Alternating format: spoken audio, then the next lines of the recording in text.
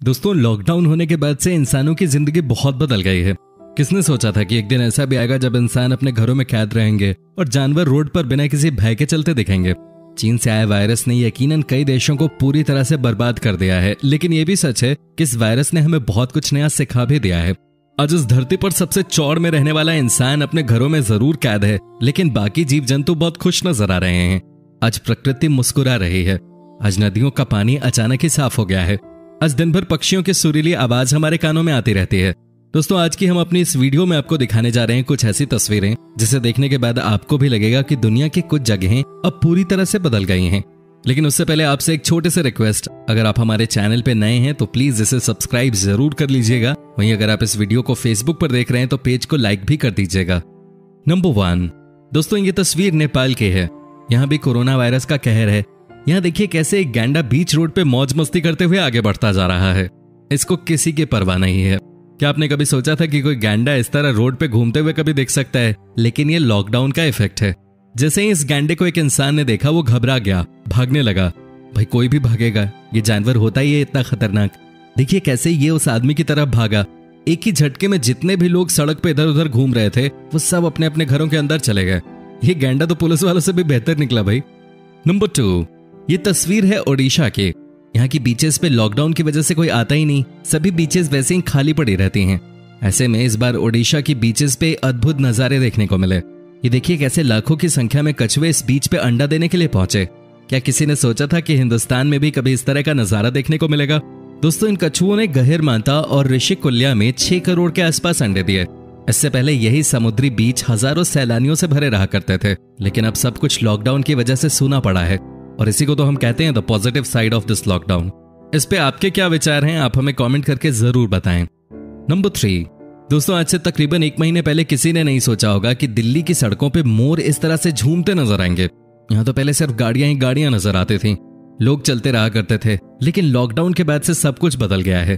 अब दिल्ली की सड़कों पे जानवरों का दबदबा है। यहाँ सुबह शाम पक्षियाँ शोर मचाती हैं। ज़ोर ज़ोर से चिड़ियों की खूबसूरत आवाज़ घनों तक आती है। आज दिल्ली के कई लोग जिन्होंने गाँव में रहने का सुख कभी प्राप्त नहीं किया, उन्हें दिल्ली में रहकर गाँव में रहने का अनुभव मिल रहा है।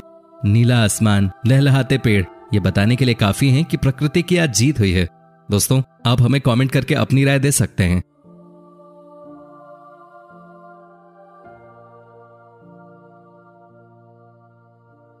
नंबर फोर अब जरा इस तस्वीर को देख लेते हैं। यहाँ देखिए, कैसे ये हिरन रात में टहल रहे हैं। किस तरह इनके मन में अब कोई डर नहीं है। यह नज़ारा है उत्तराखंड का। चार हिरन एक साथ एक सोसाइटी में आती हैं और घूमती रहती हैं। ये फुटेज है उत्तराखंड की राजधानी देहरादून से। यहाँ तो दिन में ही एक हिरन कॉलोनी के बीचों बीच घूमती हुई नज़र आ रही है। हालाँकि जब लोगों ने इसे देखा तो ये भाग गए। नंबर फाइव, सपनों की नगरी मुंबई, जहाँ जानवर तो छोड़िए, इंसानों के लिए भी जगह नहीं थी। वहाँ आजकल समंदर में अलग ही नजारे देखने को मिल रहे हैं। जी हाँ एक वन्य अधिकारी ने अपने ट्विटर अकाउंट पे इस वीडियो को अपलोड किया। उन्होंने लिखा था कि मुंबई के मरीन ड्राइव पे एक साथ बहुत सारे डॉल्फिन आ रहे हैं और समुद्र में मस्ती कर रहे हैं। देखिए जरा इस वीडियो को, कैसे डॉल्फिन कूदती हुई नज़र आ रही है। ये मुंबई है मेरे दोस्त। इस नजारे के बारे में आपका क्या कहना है कमेंट करके ज़रूर बताइए। नंबर सिक्स दोस्तों, ये वीडियो भी उत्तराखंड से है। इस वीडियो में आप एक साथ कई हिरणों को सड़क पे घूमते हुए देख सकते हैं। देखिए, जरा कितना खूबसूरत नज़ारा है। एक समय था जब यहाँ भी रोड पे सिर्फ़ गाड़ियाँ ही नज़र आती थी, लेकिन अब चीज़ें बदल गई हैं। रोड पे हर तरफ़ हिरन ही हिरन।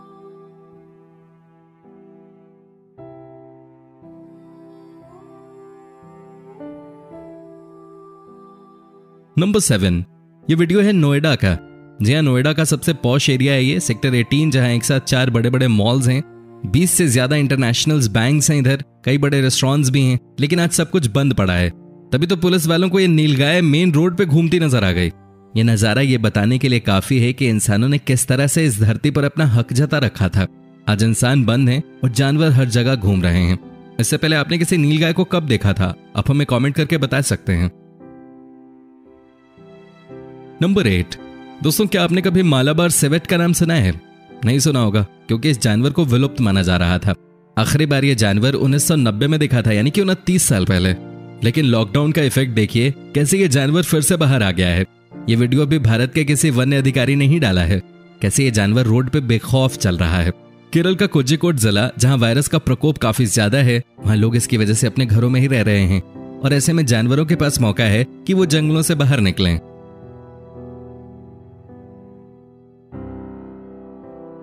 नंबर नाइन अब जरा इन तस्वीरों को भी देख लीजिए। इंग्लैंड भी इस महामारी की चपेट में है। लाखों लोग बीमार पड़े हैं और ऐसे में लोग अपने घरों में कैद हों तो सड़कों पर ये जंगली बकरियाँ घूमने आ गई। जी हाँ दोस्तों, लंदन का नज़ारा है ये, जहाँ एक साथ कई सारी बकरियाँ सड़कों पर आपको घूमती फिरती नज़र आएँगी।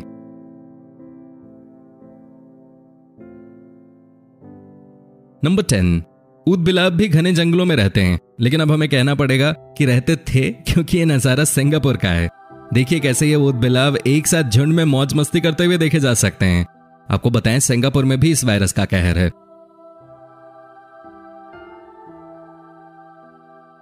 नंबर इलेवन, ईरान के ऊपर इस वायरस का कितना बड़ा प्रभाव पड़ा है, ये किसी को बताने की ज़रूरत नहीं है। हज़ारों की संख्या में लोग इस बीमारी की वजह से मारे गए हैं। तभी तो पूरे देश में कर्फ्यू लगा दिया गया है। लेकिन ये कर्फ्यू पक्षियों और जानवरों के लिए थोड़ी ना है। तभी तो सारे बत्तख एक साथ ईरान के एक एयरपोर्ट को देखने निकल पड़े। हो सकता है इन्हें फ़्लाइट देखने का शौक हो। है कि नहीं दोस्तों? अब हमें कमेंट करके ज़रूर बताएँ। नंबर ट्वेल्व दोस्तों, इस लॉकडाउन का इफ़ेक्ट इतना ज़्यादा हुआ है कि आज के दिन स्पेन के समुद्री तटों पे किलर वेल्स तैरती नज़र आ रही हैं।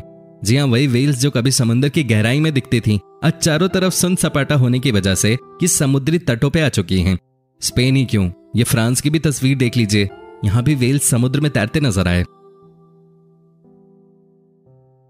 नंबर थर्टीन दोस्तों वायरस के कहर से बचने के लिए दुनिया भर के तमाम देशों में लॉकडाउन लागू है। सड़कों पर वाहन नज़र नहीं आते malls markets tourist places train planes सभी चीज़ें पूरी तरह से ठप पड़ी हैं। लोग अपने आप को बचाने के लिए और वायरस के संक्रमण को फैलने से रोकने के लिए घरों में कैद हैं। ऐसे में प्रकृति के अजीबो गरीब नजारे देखने को मिल रहे हैं। आज आसमान इतना साफ़ हो गया है कि पंजाब के जालंधर से हिमालय का पहाड़ दिखाई देने लग गया है। यकीन नहीं होता तो ये देखिए। ये सब तब संभव हो पाया है जब सड़कों पर गाड़ियों की आवाजाही पूरी तरह से बंद है। सिर्फ़ ज़रूरी इक्का दुक्का वाहन ही चल रहे हैं। इनमें एंबुलेंस और पुलिस की ही गाड़ियाँ शामिल हैं। दुनिया के कई हिस्सों से वायु प्रदूषण, जल प्रदूषण और ध्वनि प्रदूषण के कम होने की सूचनाएँ भी आ रही हैं। एक तरफ़ तो लगातार वायरस के नए नए मामले सामने आने के कारण लोगों को अपने जीवन और देशों को अपनी अर्थव्यवस्था की रफ्तार काफ़ी कम करनी पड़ी है तो वहीं दूसरी ओर इस वायरस का फ़ायदा उठाते हुए प्रकृति अपनी मरम्मत करती भी नज़र आ रही है। वायरस के खतरे की वजह से हुए लॉकडाउन के दौरान देश में प्रदूषण में लगातार कमी आ रही है। हवा तो साफ़ हो ही रही है साथ साथ नदियों में भी साफ़ पानी बह रहा है। 24 तारीख को लॉकडाउन का ऐलान होने के बाद से गंगा नदी पहले के मुकाबले 40 से 50 फ़ीसदी ज़्यादा साफ़ नज़र आ रही है। हरिद्वार से लेकर पटना तक गंगा जी बिल्कुल साफ़ नज़र आ रही हैं। वहीं दिल्ली का नज़ारा भी बहुत खास रहा है। यहाँ यमुना नदी इतनी गंदी रहती थी कि समझ पाना मुश्किल था कि साफ़ कैसे किया जाए इसे। लेकिन लॉकडाउन का इफ़ेक्ट देखिए 21 दिनों में यमुना कितनी साफ़ नज़र आ रही है। यहाँ का पानी अचानक ही नीला दिखने लगा है। दोस्तों, ये सब इसलिए हुआ है क्योंकि सारी फैक्ट्रीज बंद हैं। कोई नदी में कचरा नहीं फेंक रहा। सब कुछ प्रकृति के नियमों के अनुसार चल रहा है तो रिज़ल्ट भी जल्दी देखने को मिल रहे हैं। जहाँ कई सालों से यमुना को साफ़ करने में साइंस भी असफल रहा, वहीं चंद दिनों में ही नेचर ने काम करके दिखा दिया। इस वायरस के संक्रमण को रोकने के लिए देशव्यापी लॉकडाउन के दौरान वाहन, कारखाने और कार्बन उत्सर्जन से जुड़े तमाम माध्यम बंद रहने के कारण, पिछले 21 दिनों में दिल्ली सहित अन्य महानगरों के वायु प्रदूषण के स्तर में 40 से 45 प्रतिशत तक की गिरावट दर्ज की गई है, जिसकी वजह से लोग साफ़ हवा में सांस ले रहे हैं। दिल्ली और इसके आसपास के लोगों ने संभवतः पहली बार इतने साफ़ बादल आसमान में देखे होंगे। ये देखिए कैसे नीले आसमान में सफ़ेद रूई से बादल मदमस्त होकर चले जा रहे हैं। यही तो प्रकृति का नज़ारा है। दोस्तों, ये नज़ारे सिर्फ़ भारत में ही नहीं है। दुनिया के दूसरे देशों में भी अब पोल्यूशन रेट बहुत कम हो गया है। जहाँ एक समय इटली के वीनस शहर में नदी का पानी कभी साफ़ साफ़ दिखाई नहीं देता था, वो आज बिल्कुल साफ़ दिखाई दे रहा है। जरा इन तस्वीरों को देखिए, कैसे पानी के अंदर मछलियों को तैरते हुए देखा जा रहा है। कैसे नदी के पानी के अंदर रंग बिरंगे पेड़ दिख रहे हैं। ये कितना सुंदर नज़ारा है। एक समय ऐसी नदी में इतने सारे बोथ चलते थे कि पानी का रंग काला हो गया था। लेकिन इटली में जैसे ही इस वायरस ने अपना कहर मचाना शुरू किया, वैसे ही इस देश को भी पूरी तरह से लॉकडाउन कर दिया गया। पिछले दो महीनों से इस देश में कोई मूवमेंट नहीं हो रहा और शायद यही वजह है कि यहाँ का पानी एकदम नीला हो गया है। यही तो है नेचर की ताकत। अब तो बातें यहाँ तक होने लगी हैं कि जब एक बार फिर से दुनिया में रौनक लौट आएगी जब एक बार फिर हम और आप अपने घरों से बाहर निकलेंगे, तब भी हमें नहीं भूलना चाहिए कि इस लॉकडाउन ने दुनिया को क्या सीख दी। भारत में तो हर साल पंद्रह दिनों के लिए कंप्लीट लॉकडाउन की वकालत भी लोगों ने करना शुरू कर दिया है।